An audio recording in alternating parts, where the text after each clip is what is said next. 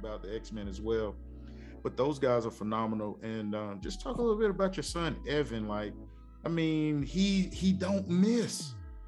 Evan Brice don't miss. right. Right.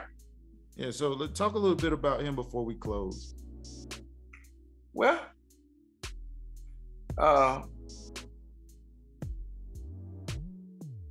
I think that uh, definitely he was preordained to do it.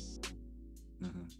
I think that uh, I think all parents, you know, when you when you get to the real gist of it, you're just a steward over this person. This person belongs to God first and foremost, but then they give you as a parent, he gives you the mandate or the assignment to to take care of this person, raise this person.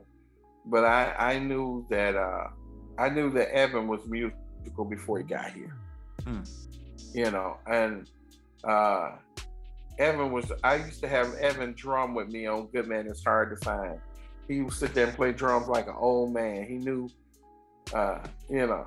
And then when he started playing keys, that just kind of ran up on me and beat me all upside the head. But I would have him play with me in church. And but I realized that God was putting a whole lot more in him than uh I could I could ever, you know, give him.